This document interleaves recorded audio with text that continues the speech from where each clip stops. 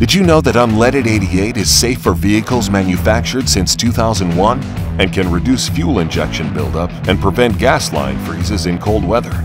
Clean, affordable, safe. Choose Unleaded 88.